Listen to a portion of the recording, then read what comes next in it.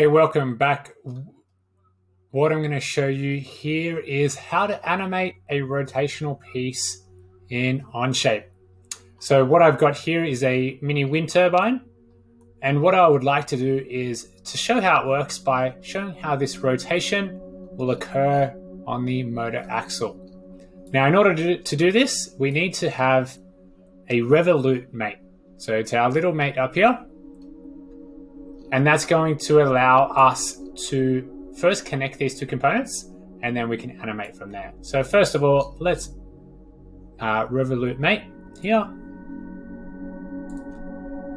There we go. And we're going to put that onto this piece here.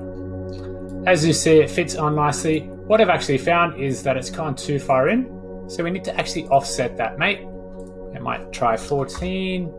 It's come out pretty far. I just want to make sure that the axle there, perfect, is uh, exactly where I want it to be. So I'm happy with that mate. Oh, and we'll click OK.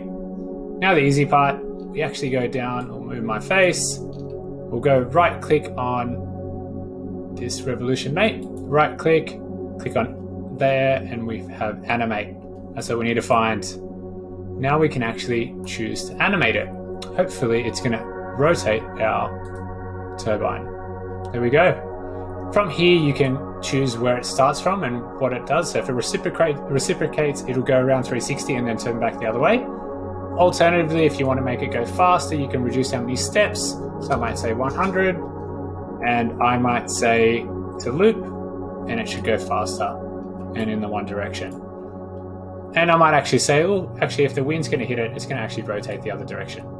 Okay, so there we go. That's how you can animate components in Onshape. I've got another piece here that will animate it as well. So if I find my other Revolute, I'll right click, close out of that, right click, animate, and click here.